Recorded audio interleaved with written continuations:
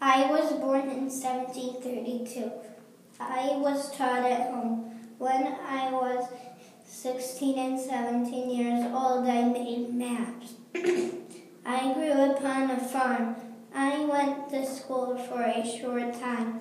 My father died when I was 11. I got married in 1758. I was president for eight years. I died